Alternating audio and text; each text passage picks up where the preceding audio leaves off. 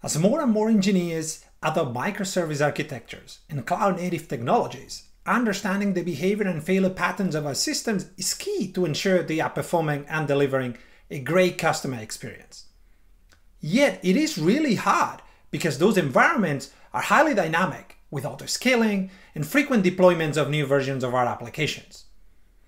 I'm Ramon Guiu, VP of Observability Products at Timescale, and in this CNCF webinar, I will show you how you can use three open source projects, OpenTelemetry, Grafana, and PromScale, to get insights about your systems that will help you deeply understand how they behave or misbehave so you can improve them and deliver a better experience to your users. This is the agenda. First, I'll do a very quick introduction to OpenTelemetry and distributed tracing. Then I'll talk about PromScale, which is a free open source observability backend that runs on top of TimescaleDB and PostgreSQL. And finally, I'll show how you can use OpenTelemetry, PromScale, Grafana, and SQL to better understand your distributed systems by using a demo environment we've created that you can get up and running on your computer in just a few minutes. The demo environment we will use is available on GitHub at the URL that you see at the top. And we've also written a detailed blog post that covers everything about that demo environment, how to set it up, how to instrument your code with OpenTelemetry, and how to query the data and build Grafana dashboards. I'll be covering some parts of that in this session. If you want to dig deeper, I recommend you check that blog post. You ready? Let's get started. For those that are not familiar with it, I'm going to take a few minutes to introduce OpenTelemetry and distributed tracing. OpenTelemetry is a new standard for instrumentation that is hosted by the Cloud Native Computing Foundation.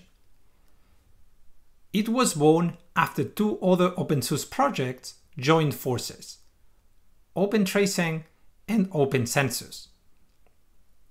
In the three years since the joint effort was announced, OpenTelemetry has become the second most active project, as well as the second with most contributors among all CNCF projects. Only after Kubernetes but well above Prometheus and other very popular projects.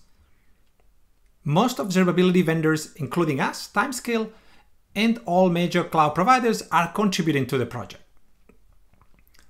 Why is there so much interest in it? Well, first, it's vendor agnostic. Instrument once and send telemetry anywhere, so your investment is future proof and behinds are the days where you had to re-instrument your systems when adopting a new observability tool.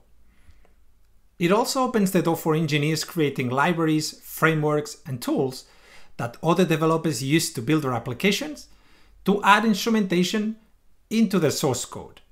For example, Kubernetes has started adding OpenTelemetry instrumentation into their code. Second, it's a standard that includes the three key telemetry signals metrics, logs, and traces that share the metadata and tags so you can more easily correlate them. It also defines align protocol and semantic conventions, making interoperability between OpenTelemetry and other tools much easier. And finally, it provides libraries that do automatic code instrumentation, dramatically reducing the effort required to instrument your code. In today's session, we will focus on OpenTelemetry traces, since they hold a lot of valuable data to understand distributed systems that metrics and logs cannot provide. But what is a trace? A trace is a connected representation of the sequence of operations that were performed across all microservices involved in order to fulfill an individual request. For example, if you open an article from a news site in your browser, there would be multiple operations served by different microservices. Read the article, read the comments for the article, and request ads to display with that article. Each of those operations are represented by a span with their own subspans. A span can have zero or multiple children. All spans have just one parent except the initial span in a trace, called the root span, which has no parent.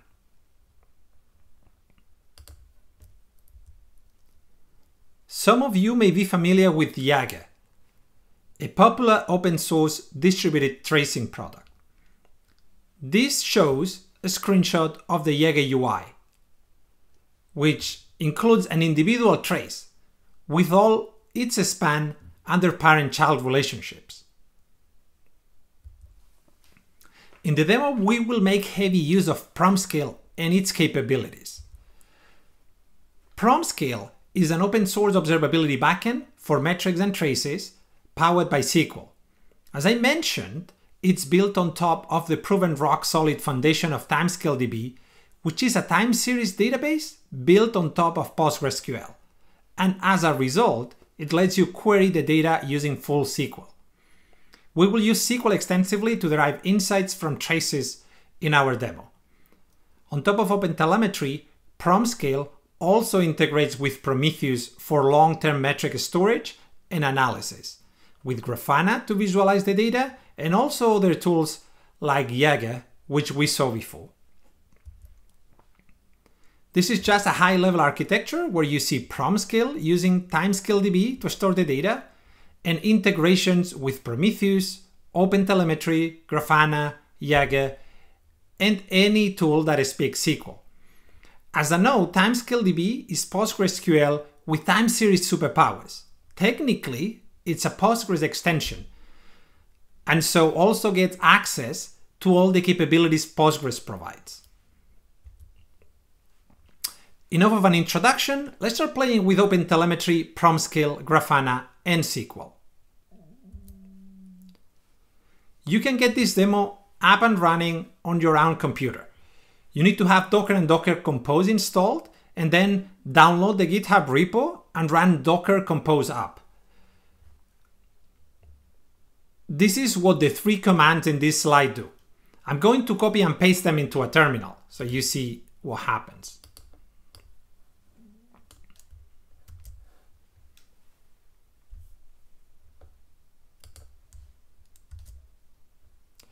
So as you can see, this has cloned the repo. And then I just run docker compose, which will download all the different uh, images, build them, and, um, and then get the environment up and running. This will take a few minutes, so we're not gonna see all of this now, but uh, you can do it on your uh, laptop and we've tested with uh, Mac OS, Linux, and Windows.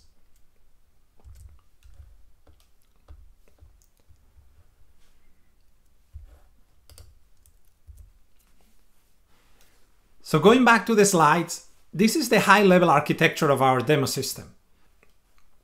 It's a password generator that has been over designed as a microservices application connected to an open telemetry observability stack. It has a log generator that makes requests to the generator service. Then the generator service calls the upper, lower, digit, and special services to get random uppercase, lowercase, digits, and special characters to build a password. The lower, serv- the lower service is written in Ruby and the rest in Python. All services have been instrumented with OpenTelemetry traces and send those traces to PromScale. As we saw before, you know, you can get this demo up and running uh, on your own laptop. Okay, now, now let's go into Grafana and let's check uh, all the different dashboards that we've built that will show how to use SQL to derive insights from tracing.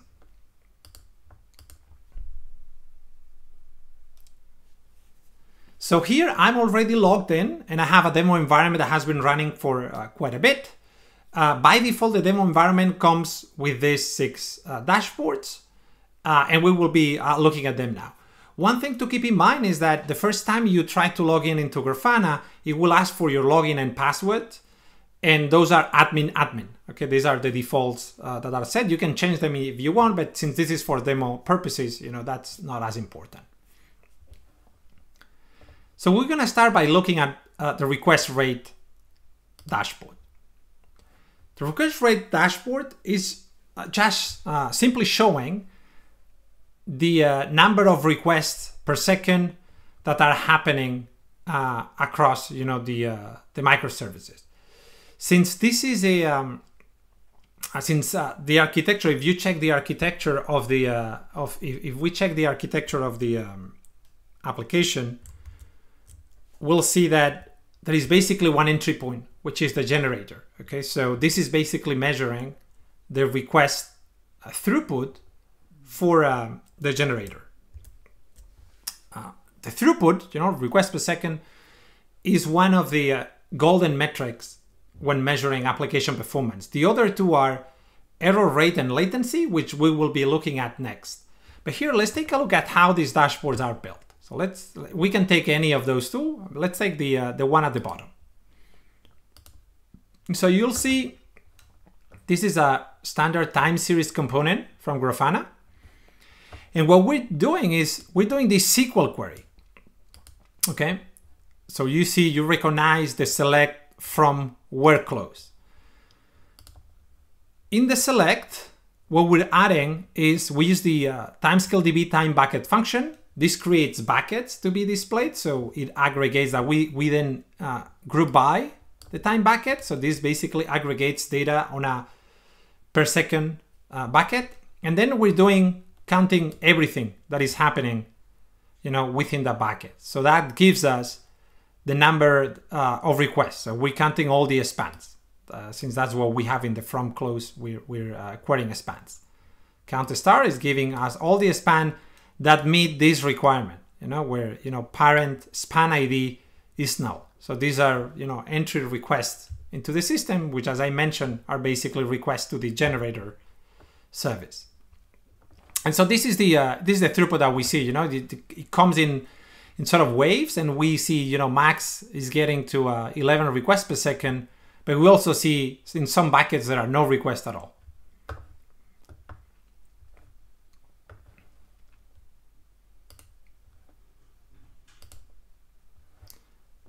Okay, now we're gonna take a look at um, we'll take a look at another dashboard. We'll look at the error rate dashboard. So this dashboard, I think it gets a little bit more interesting than the other one.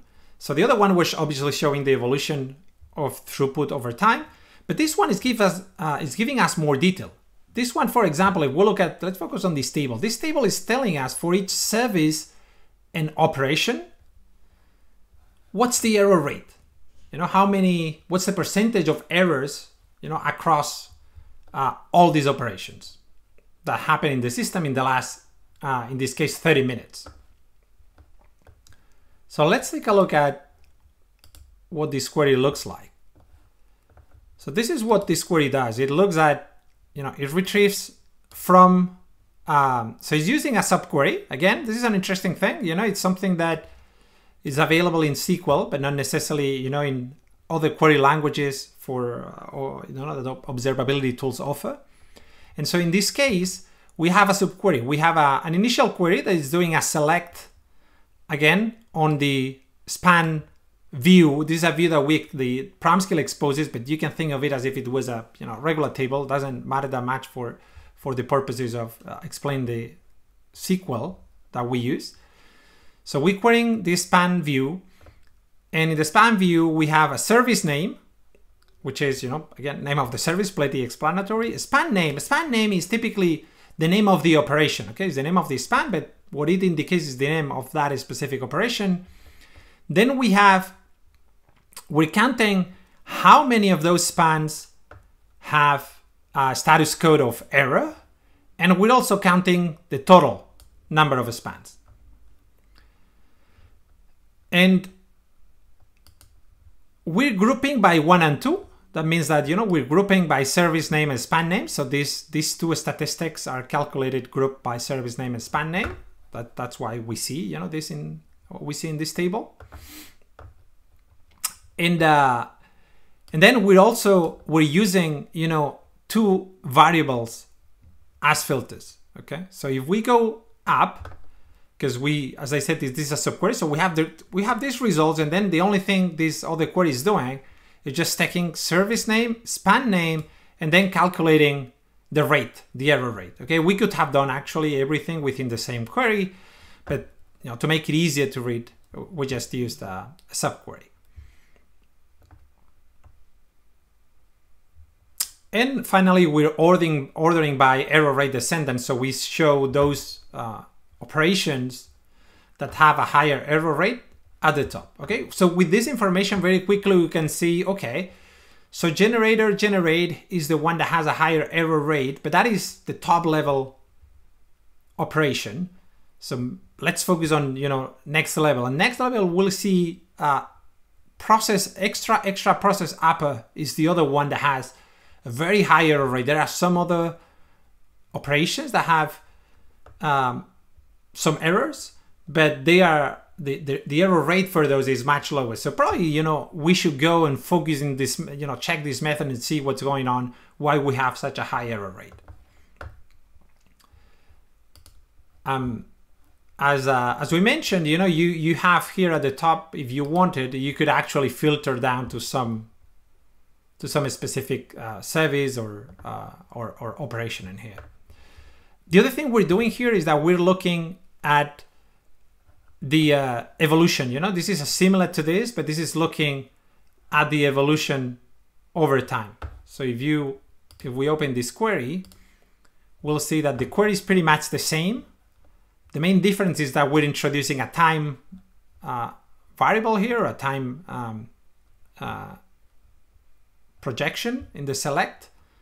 That is the time bucket, you know, so we're calculating this stat, the, the error rate per service and operation uh, in a, you know, an a per minute basis. And we're plotting it here over time. Okay, let's move to the next one. Let, The next one is latency, okay, request durations. This is the third golden signal. So as I said, there are three. So we have uh, throughput, uh, error rate that we've already seen, and then latency. And here we can see let, us look at this chart here. This chart is showing the evolution of duration over time, but we're not looking at average, we're actually looking at percentiles. Okay, so we're computing percentiles. So how does this work? Again, let's take a look at and see how the query works. So here, again, we're using this time bucket function that timescale provides to group uh, um, the data in buckets of one minute. So then it shows, you know, the, the group by close. And then what we're doing is that we're looking at the uh, percentiles for uh, 99 percentile, 95th percentile, 19th percentile, and the median or 50th percentile. And to do that, we're using the approx percentile function provided by timescaledb, which looks like this. The, we use this percentile arc function as well, which um, calculates a sketch on the duration millisecond, which is a data structure that then allow us to compute an approximate percentile on top of it in a way that is you know more performant. And then you know, we're just plotting all of those here. So again you know we can use the power of SQL and TimescaleDB to compute those percentiles. And we could use any we compute any percentile that we wanted here.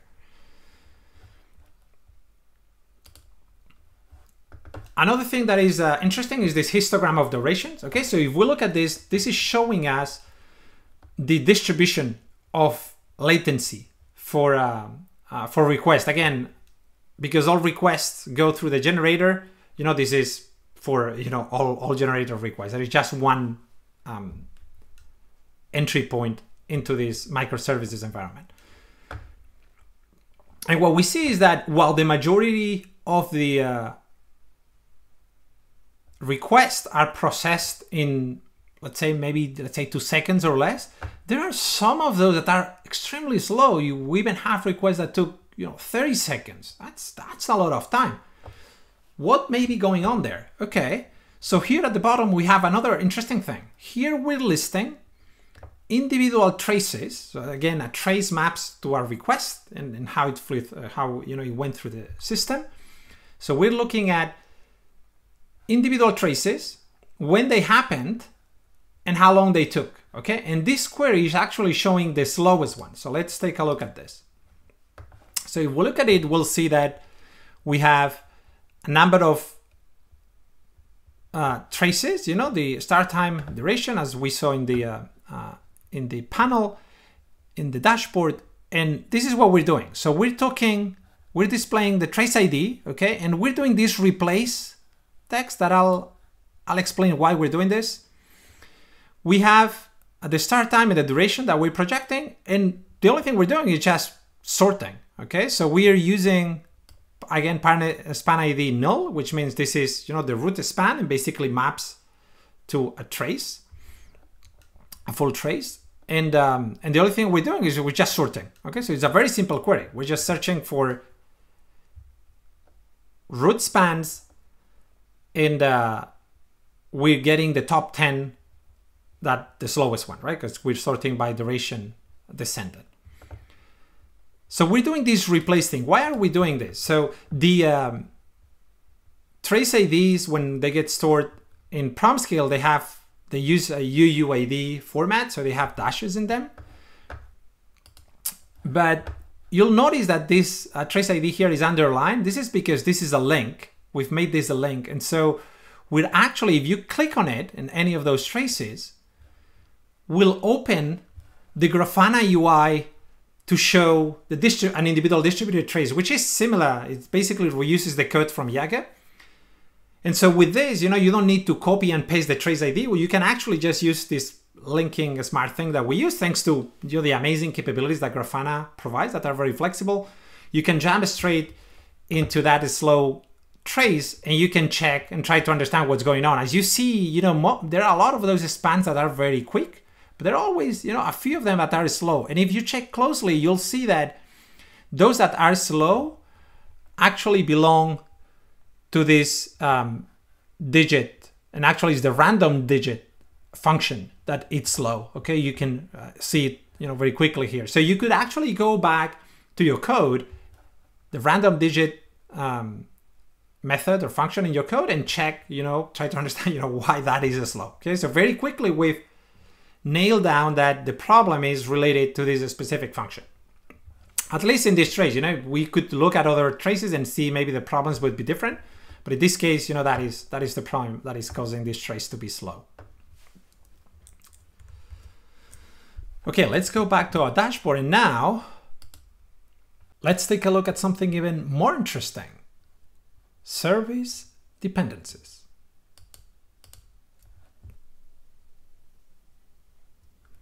And so this is a service map and it helps us to quickly understand how our different services interact. For this dependency map, we're using Grafana's node graph, which at the time of this webinar is still in beta. So let's take a look. As you can see, we're using here the node graph. And the node graph uh, panel from Grafana expects two queries one to retrieve the nodes in the graph, the first query here, and that is the nodes in the graph, it's the circles, and another one to retrieve the edges in the graph, and that is the arrows. And so this is the query to get the list of nodes, and basically we just retrieve all service names that appeared in spans in the currently selected time window in Grafana. ID and title are two parameters the node graph expects. ID uniquely identifies a node and title is the label that is assigned to the node. And so we're using service name in both cases. The second query is more interesting and it has to return the arrows, so the relationships in between the services. This is actually something that is typically or usually impossible with the limited query language that other observability backends provide. But because we can leverage the full capabilities of SQL provided by PostgreSQL, we can do joins.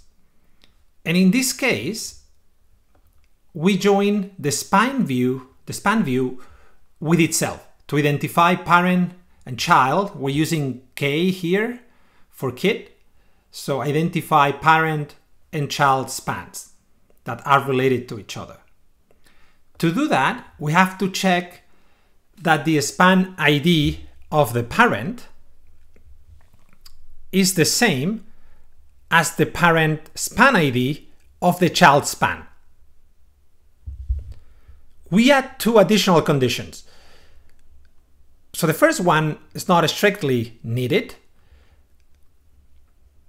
but what we're doing here is we're ensuring that both the parent and the child span are part of the same trace ID. And this would only make sense in cases where there are two spans that were assigned the same span ID, which is very unlikely to happen.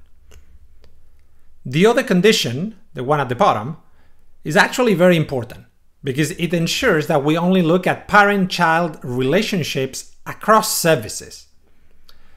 That is, a service operation calling an operation in another service. And so we remove inter-service relationships. That is, an operation in a service calling another operation in the same service, because we don't want to show those in this map where we're interested in uh, cross-service dependencies.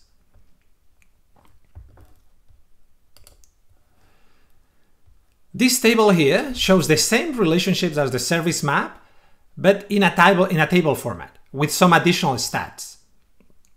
So you can see we have, you know, number of calls, total execution time, and average execution time. If we look at the query behind, it's the same. So in this case, as I said, this is a table. We're showing a table. So this is a table panel, uh, Grafana's table panel. And the query pretty much uses the same join. Okay, so it's very similar, uses the same join, but we're showing you know a set of different stats. So we're grouping by uh, source, target, and uh, span name. So that that's the grouping that we're using, and then we're showing how many calls are happening from the source to this source service to this target service and uh, operation, and um, the total execution time of um, you know that was spent. So we just sum uh, uh, these spans and we just compute how much uh, time has been spent in this specific operation across all spans within the selected time window and then the average execution of that uh, of that span and so here very quickly we can see that you know most of the time is actually spent uh, in the generator calling the lower service the lower service calling the digit service and the generator calling the digit service so i mean it seems to be that the problem is actually in the digit service. That's a service that is very slow. And um, I think we already saw that, you know, when we looked at the um, traces, at the specific trace, and we saw that a lot of time was spent in the digit service. So this is just, you know, reinforcing that. Uh, and that is not just an individual occurrence, most likely, but this is happening uh, consistently across uh, or over time and across uh, multiple requests.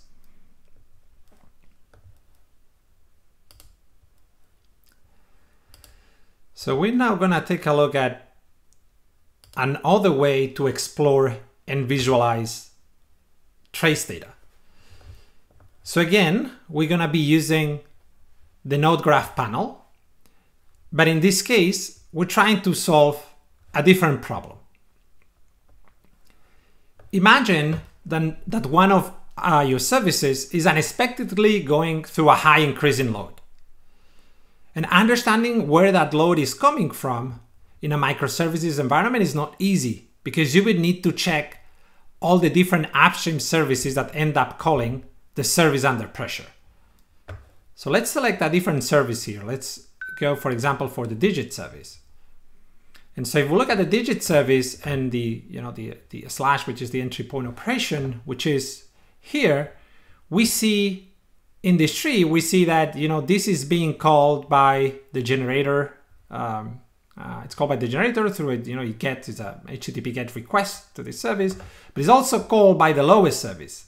And we see that uh, this is you know there, there is a you know digit operation in the lowest service that is uh, end up calling digit, which is I mean we already saw in the service map that is probably wrong.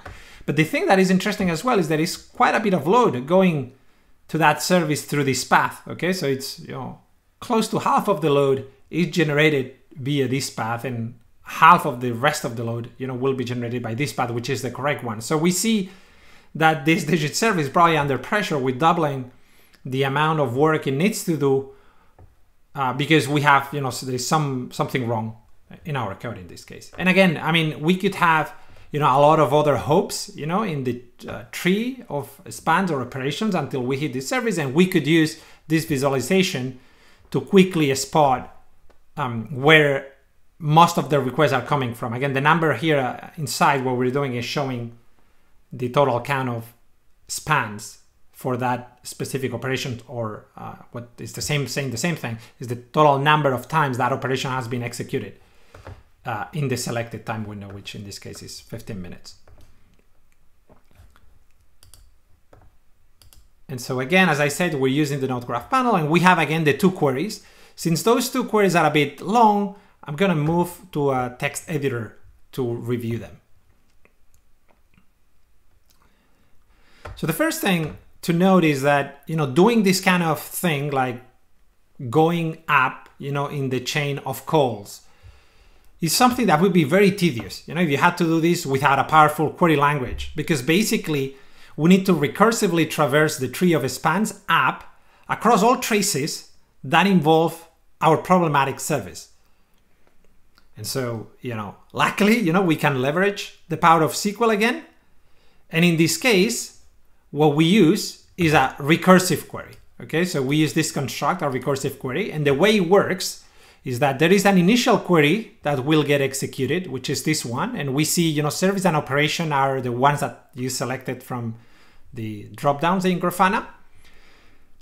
And we, it runs this query, which is retrieving basically all spans, you know, uh, you know, some data for all spans that match this specific service and operation. And then it runs the results, so X, you know, are, are the results from this initial query. It runs them through this other query. And basically what this is doing is a, a join where it checks that X, so the, um, uh, the results from uh, the, the, the, it looks at the results from the original query, reads the parent span ID, and then it checks for you know, this uh, new table that we're joining again, which is again the same, you know, span view um, uh, table if you want, it collects, it, it looks at uh, comparing and ensure that we retrieve the parents. Okay, so basically S in this case will represent the parent of X. So we're going up one level and we're projecting all these different values from the parent span. And because this is recursive, it will do the same thing again. So it will take the results that we just got, these results here, and run this querying again against it again. So it will do, again, the recursive thing. It will check, okay, so I have to look at this, uh, the, the values that I have, I inject them, you know, I inject them into X here.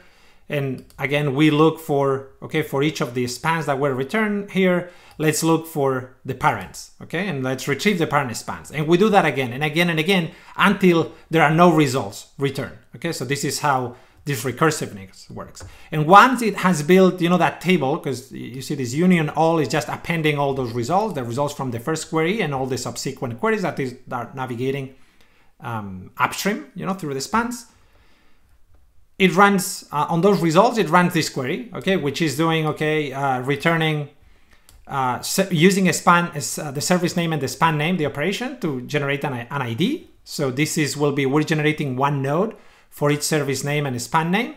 Something important to notice here is that we're not excluding inter-service operations because we're actually interested in seeing them in case the increase in calls was coming from an internal operation within the service and not generated from something outside. It could be maybe something wrong, you know, a new deployment that we made and maybe caused that problem. So, so we're not excluding and we're actually including inter-service operations as well. And then we add service name as a subtitle, you know, of uh, the node.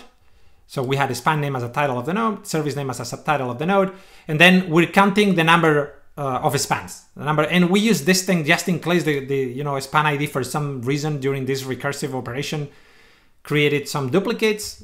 In theory, I don't think that's necessarily needed, but just in case, we use this thing so that we remove any any potential duplicates there, and we have an accurate count and uh, and then so we and then what we do is we grouping you know those results by service name and span name so that basically grouping by node so these are this is a query for the nodes and the edges uses a very similar uh, query but so again, you see this join here where it's traversing app, you know, from the current set of results. Let's get the parents and project them. But it also adds a bunch of uh, additional information because in here we're interested in the uh, edges.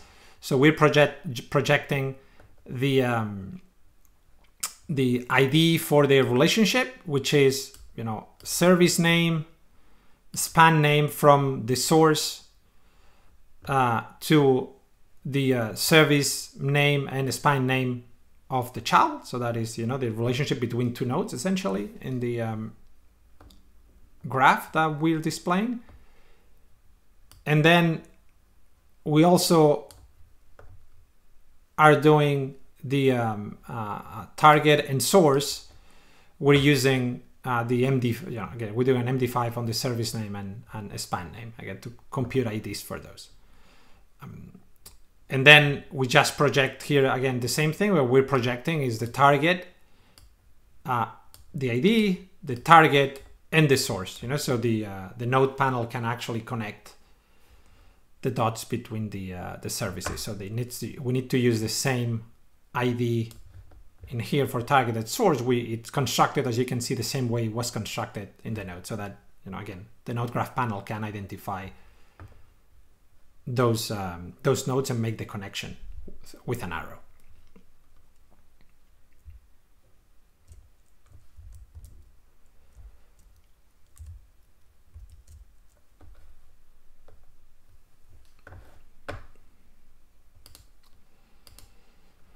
Okay, so we saw we've seen how we can troubleshoot scenarios where you know we have a service that is having some issues, you know, we can actually navigate up through the stream of uh, through the uh, sequence of spans in all across all the different traces to understand the uh, how the how the service is being called. You know, what's the impact of things happening upstream into the service we're uh, looking at. We can do something similar but in this case, using downstream spans. Okay, so let me let me make this bigger. And this is showing, again, uh, here I have selected uh, generator and HTTP get. Uh, so let's actually select generator and the generate uh, uh, operation because that is the entry point. And so this is showing an entire map of all the requests, you know, that go through the service. What are all the different service and operations that are being called, you know, and how often they are, etc. And we're using the same technique that we use in the upstream span or upstream dependencies dashboard. The only difference is that in this case, the join is the other way around. Okay, so we're looking before we had the x parent span ID equals s span ID, so here is, is the other way around. So we're looking for X span ID um, uh, being the same as the uh, parent span ID. So we're just going, you know, downstream. Okay, and then we project the children, and then again we do the same uh, same operation here. So it's a very very similar thing. So I will not explain it in detail, but you can just show you can navigate upstream, but you could also navigate downstream, and you know this gives you a very interesting map of all the uh, different calls that happen in the service across, you know, the you know, in this case the last 15 minutes, once uh, you know for for all the requests to the generator service. So it helps you understand in detail at the end of the day what's happening. You know how how are all the different requests being processed.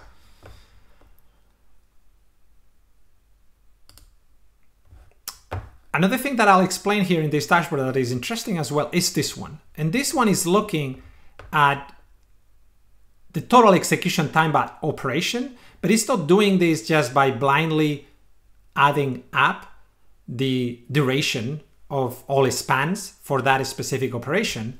Is actually looking at time actually spent in the code of that operation. That is, it is subtracting the time spent in child spans. Okay, so you have an operation, it has some code, and then it makes requests to other operations that have their, you know, that are tracked in their own spans.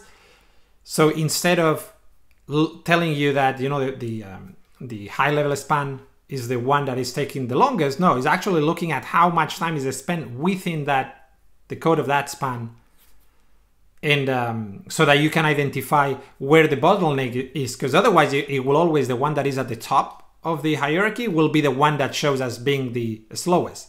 But here it's not the case you know if you see this query the slowest one where most of the time is spent and we already have seen this you know over the course of this uh, presentation is the digit random digit method or function is where most of the time is spent. 88% of the time is spent there so definitely this is the first place we should go to optimize the performance of our service. If we didn't be subtracting uh, time from child spans, the one at the top would have been the generate um, password from the uh, generator service because that's the top level one. And so all the time is adding up into the duration of that span. So how do we do that? This is actually really important. You know, it's this idea of, okay, I'm looking at where specifically in which uh, code is specifically the time spent.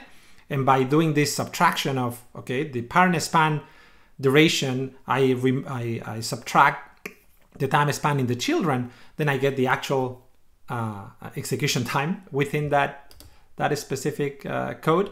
It's really helpful to understand bottlenecks. And the way we do it is again, we use, is the same thing again, we use a recursive query to traverse all spans and assign time to the different um, actual time span, you know, in the different spans. And what we do is this thing that you see here. This is the key this is the key thing.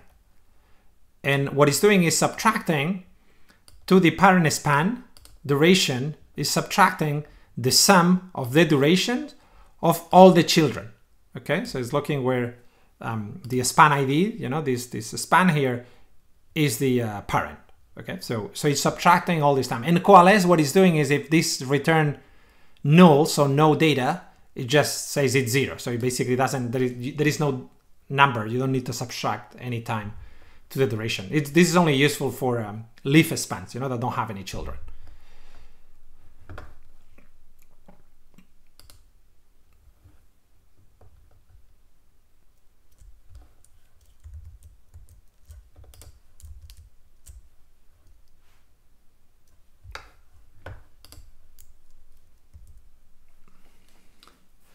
All right, so we've reached the end of the this webinar. I hope that you enjoyed it. Uh, we showed that with OpenTelemetry, PromScale, and Grafana, you can get insights you didn't think, I don't think you would think you thought were possible, thanks to the power of full SQL.